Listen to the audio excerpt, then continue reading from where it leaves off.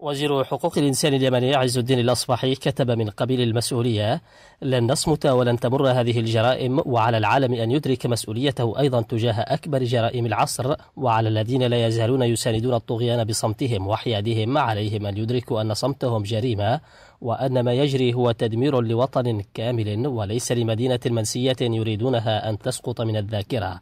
تعز لن تقهر تعز قضية وطن.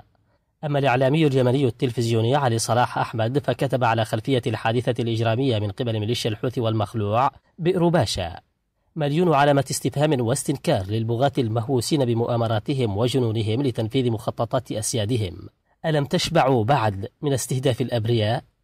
هل ارتاحت أنفسكم للأجساد الغضة المضرخة بدمائها على أرصفة شوارع المدينة؟ هل تعجبكم أجساد من تبعث بهم لقتل إخوتهم في المحافظات تنهشها الكلاب؟ ألم تكتفوا بعد من أعداد الأيتام والأرامل؟ متى ستعلمون أن اتخاذ المدن الآمنة ساحات للاقتتال جرائم حرب لا تغتفر؟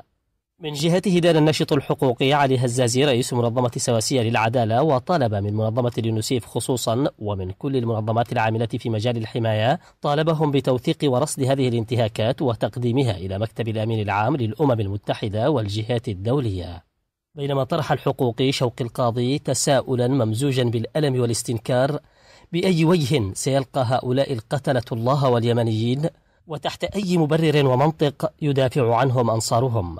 وأهاب الأكاديمية الدكتور وديع العزعزي في منشور على صفحته بالفيسبوك بكل المنظمات الحقوقية والقانونية والناشطين في تعز إلى توثيق تلك المجازر وبمعايير قانونية وحقوقية دولية وبما يسهم في إعداد ملف حقوقي متكامل عن مجازر تعز والانتهاكات التي حدثت فيها لتقديمه للمنظمات الدولية ومحكمة الجنايات الدولية كجرائم حرب موجها الدكتور العزعزي رسالته لوزارة حقوق الإنسان ووزارة الخارجية والمنظمات الوطنية العاملة في مجال حقوق الإنسان أما الإعلامي سعيد ثابت مدير مكتب قناة الجزيرة باليمن نادى بالفصحى والإنجليزية لأحرار العالم أطفال مدينة تعز تقتلهم صواريخ ميليشيا الحوثي وصالح الإرهابية هل قتلت إنسانيتكم؟